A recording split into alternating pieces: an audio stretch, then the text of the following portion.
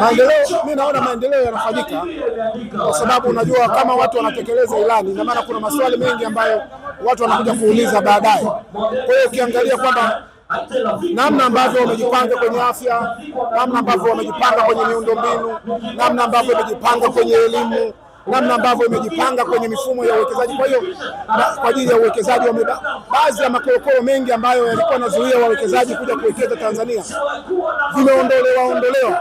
Kwa hiyo mi naona mambo yanakuwa kwa kiwango kikubwa, kama wanauliza kama Mtanzania, lakini pia kama mtu ambaye huwa anatumika katika kufanya uhamasishaji yeah.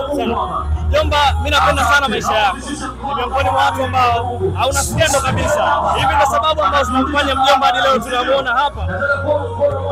ya Mungu tu. Najua kuna wakati unajitafakari, lakini pia kutumia zile wanaita five, uh, wanaita five what?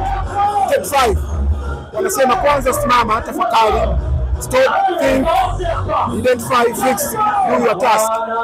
Kabla sijataka kufanya jambo lolote, kwanza nitafakari hili jambo nikifanya likiwa na impact tofauti linaweza kufanya madhara gani. Kwa hiyo hiyo natafakari nafikiria, lakini kama kuna changamoto ambayo itanifanya ile jambo nikilifanya inaweza kaita shida, natakiwa kutatua, alafu nikiona niko salama, haliwezi kuleta impact mbaya kwenye jamii, ndio nalifanya. Kwa hiyo take five kwenye maisha yangu ni muhimu sana. Yeah. Kwa vijana imekuwa ni ngumu sana kujilinda kwenye upande wa maadili, pia heshima zao kuzilinda, lakini kwa mjomba imekuwa ni rahisi. Unadhani kwa nini kwa vijana inakuwa ni ngumu sana kulinda sasa? Vijana wanaangalia zaidi matokeo, wanaangalia zaidi mwisho kulikoni kwenye safari wanapoianzia. Ndio unakuja pale neno ningejua linakuja mwisho wa safari. Kwa hiyo mwisho wa siku inabakia kuwa majuto. Jomba, nisikucheleweshe, natamani kujua kwako, wewe ni msenga wa Barnaba na kuna mambo mengi yanaendelea kwa Barnaba. Ulipata nafasi ya kuongea na Barnaba kuhusiana na hivi vitu ambavyo vinaendelea mtandao? Barnaba nimeongea na mke wake, nimeongea na Barnaba na mimi ndio mshenga. Barnaba ni Muislamu, uwezo anao. Nimemuuliza kuhusu nguvu, unazo? Akasema nguvu ninazo. Uwezo wa fedha anao. Sheria inasema kama sheria kwamba unaweza kuoa hata watu wanne. Kulikuwa na ule ujinga anaofanya, tumchukue ule mwanamke awe mke wa pili. Kwa mimi nimebariki. Unadhani Barnaba alifanya sawa kuanza kumintroduce kwenye mitandao before ya mke wake kujua Sasa hiyo siwezi kuongelea, lakini naongelea kama mshenga baada ya matokeo. Unadhani ni kwa nini vijana wengi wanashindwa kudumu kwenye ndoa?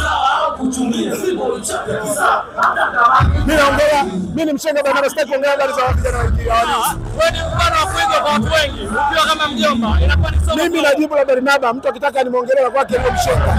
Barnaba afanye nini ili aweze kufuta ile ile ile kitu ambacho inamuumiza sema mambo yake ameongea. Kuoa ni kuoa na kuomba radhi basi. Au inatosha.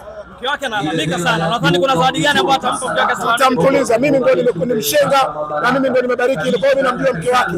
Wewe nitaongea naye, hakuna shida yoyote. Ikitokea mama mkwe anahitaji talaka kilazima, ukiwa kama mshenga. Mama mkwe hawezi kutaka talaka, talaka anataka mke.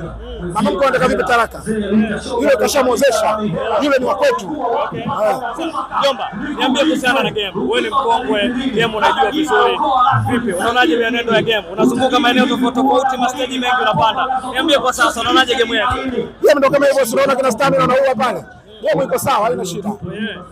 Show za bure zinafanya muziki unakuwa. Hii hii inaitwa back to society. Kurudisha kwa jamii. Iko sawa. Show za bure zinafanya wasanii wanakuwa.